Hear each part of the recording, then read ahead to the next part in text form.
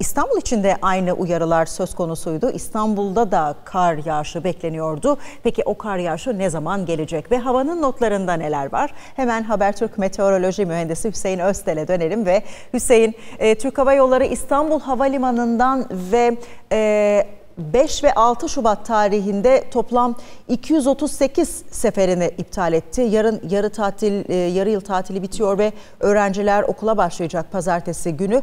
Onların da gözü kulağı bugünlerde meteorolojide e, kar yağar mı, tatil uzar mı diye akıllardan geçiyor sorular. Hafta sonu ve yeni haftada bize nasıl bir hava bekliyor? Evet Oylum şöyle ki Ankara'daki muhabirimiz karın güzelliğini, keyfini çıkaran görüntüleri aktardı ama İstanbul'da kar yağışından önce müsaade müsaadenle büyük bir fırtına geliyor. Şimdi şöyle ki biz içine gireceğimiz soğuk havanın e, İç Anadolu'da, Doğu Anadolu'da böyle beyaz örtü yaptığını görünce İstanbul'da tabii ki kar bekliyoruz. Ama İstanbul'da hayatı olumsuz etkileyecek olan asıl konu yarın öğlen saatlerinde başlamasını beklediğimiz yani artık buna ben dev fırtına demek istiyorum. Çünkü rüzgarın sürati yarın öğle saatlerinde İstanbul'da 80 kilometreye ulaşabilir. Rüzgarın hamlesi ise yani kısa süreli ulaştığı en yüksek sürat şöyle bir 30 saniyede çarpar ya 120 kilometreye ulaşabilir. Bu yüzden bu seferlerin büyük kısmı iptal oldu birincisi.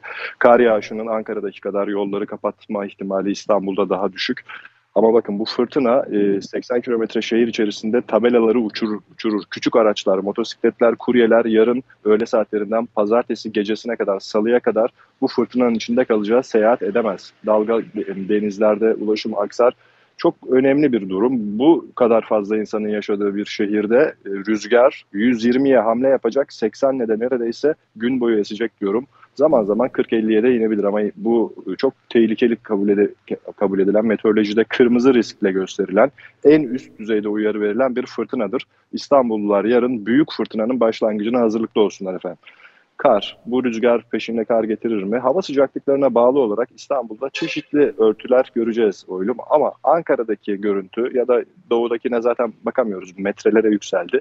Öyle bir şey İstanbul'da yaşayamayabiliriz. Ama perşembeye kadar, gelecek hafta perşembeye kadar kar havasının içindeyiz. Hep bir soğuk ve sıfıra yakın sıcaklıklar. Deniz etkisi dediğimiz şey olacak İstanbul'da. Denizin üzerinden esecek o karayel. Fırtına geliyor dedim ya ve Poyraz. Hı hı. Bazı bulutlar, oluşumlar yaratacak ve radar görüntüsünde şu an gördüğümüz gibi böyle yeşil yeşil kütleleri İstanbul'a taşıyacak. Şu anda bana sorarsanız Çatalca istikametine doğru yollarda ulaşım aksayabilir İstanbul'da. Şimdi kar kısmına geçtik fırtınadan. Pazar saat böyle bir 20 olduğunda, 19 olduğunda, akşam hava karardığında, gece yaklaşırken artık Çatalca, Silivri, Vize, işte Kıyıköy, Kırklareli etrafında kar yüzünden e, yollarda böyle bir örtü oluşmaya başlar. Ama bundan Beşiktaş'ın Beyoğlu'nun, Kadıköy'ün haberi olmaz. Karla karışık yağmur ve yüzümüze vuran çok kuvvetli bir rüzgar bekleyeceğiz. Kar örtüsü ama böyle bir pazar oluşmadı diye hemen aldanmayalım. Pazartesi günü de İstanbul'da kuvvetli yağış var. Bu e, bir kısmı yağmur olarak düştüğü için yine örtü çok fazla bütün şehirde olmayabilir. Ama bana sorarsanız sadece kar kalınlığına bakmayın. Bu fırtınaya da bakacak olursak zaten insanın dışarıda sokakta yürümesi için tehlikeli bir hava koşuludur bu. Sadece bunun yüzünden bile bu okullar herkes onu merak ediyor ya okullar tatil edilebilir. Sadece fırtına yüzünden bile efendim pazartesi gününde sürmesini beklediğimiz. Bu çok önemli bir konu. İstanbul'un ben yakın tarihinde kaç senedir hava durumu şey yapıyorum. Bu kadar kuvvetli ve iki gün süren bir fırtınasını hatırlamıyorum. İki tane hatırlıyorum daha doğrusu. Böyle bu da klişe bir laftır. Biz hiç görmedik olmadı mı? Tarihte tabii ki olmuştur.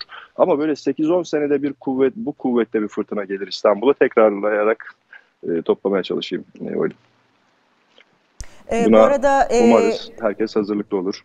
Hüseyin, e, Diyarbakır Şanlıurfa e, karayolu, e, aradaki o karayol yoğun kar yağışı nedeniyle trafiğe kapatılmış. Az önce o, dedin ya doğada zaten... metrelere ulaştı diye. E, evet. Biz de onun e, son dakika e, gelişmesini e, alt e, banttan geçiyoruz. Diyarbakır evet, O yollara Şanlıurfa. Erzincan, Van da katılabilir. Zaten hmm. Van'da vardı kar da bir parti daha gelecek. E, burada Doğu Anadolu bölgesi zaten e, mevsim ortalamasının çok altındaydı. Bir de şimdi bunları böyle konuşuyoruz. Hep ulaşım aksi. İnsanları etkileyecek şeyler ya. Bir de olumlu tarafı da var elbette. Doğu Anadolu'daki o çorak topraklarımız, işte dağlarımız beyaz örtüye kavuştu metre cinsinden. Akarsular, işte ele, ürettiğimiz elektrik derken tamam.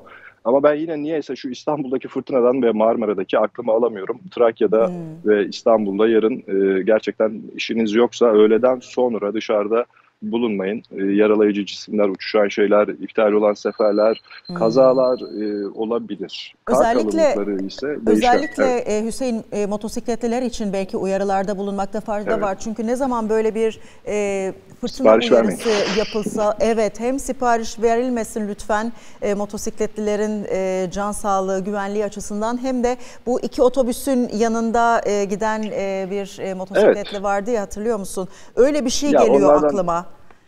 Ben de yaptım biliyor musunuz? Beni de bir metrobüs korumuştu 2018'de. Ya bunlar oluyor. Böyle fırtınalar sonucu e, bu tabii insanlar birbirine dayanışma gösteriyor. Ama burada Tabii. köprüyle viyadüğü iyi söyledin oylum. Buzlanma konusu da önemli. Hmm. Gelecek 3-4 gün otomobiller için de sadece motosikletlerden değil buzlanma konusunda da dikkat edelim. Araçlar aniden gerçekten kontrolden çıkabilir. Evet. Ve de sürekli insanlar şuradan şuraya gidebilir miyim, buradan buraya gidebilir miyim? İşte şu yola İstanbul'la Ankara arasında hatta İstanbul'la Kars arasında nereye giderseniz gidin karayolundan e, yolda kalma Dikkatli riskiniz var. olun. Mesela böyle bir durum var. Dikkatli Evet. olun. Çok teşekkürler Hüseyin Öster bizimle birlikte olduğun için ve e, hava durumunu bizlerle paylaştığın için.